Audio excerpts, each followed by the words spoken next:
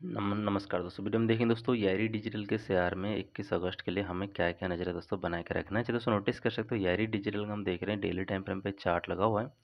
और यहाँ सब देखें तो स्टॉक आपको एग्जैक्ट लेकर डाउन ट्रेंड में कंटिन्यू करता दिखाई दे रहा है। दूसरी कंडीशन अगर आप नोटिस करते हैं तो स्टॉक यहाँ से आपको अप ट्रेंड में कंटिन्यू करता दिखाई दे रहा है। दोनों को मिलाते हैं तो स्टॉक आपको यहाँ से अपना एक ट्रायंगल के बीच में ट्रेड कर रहा है। जब इसका ब्रेकआउट होगा तो बड़ी तेज़ी आपको यहाँ पे देखने को मिल जाएगा, ठीक है?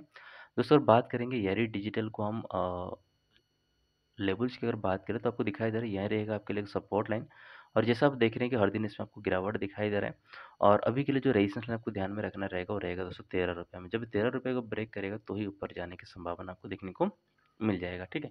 अब दोस्तों इसको हम वन आवर के टाइम फ्रेम पे नहीं देखेंगे क्योंकि अब देख रहे हैं यहाँ पे कोई मतलब कि कैंडल कैंडल दिखाई नहीं दे रहा है तो वन आवर के टाइम फ्रेम आपको ज़्यादा कुछ मूवमेंट देखने को नहीं मिलेगा, ठीक है ना? दोस्तों लेवल्स पे ध्यान रखिएगा, वीडियो को लाइक करें शेयर करें सब्सक्राइब कर दीजिए। धन्यवाद दोस्तों।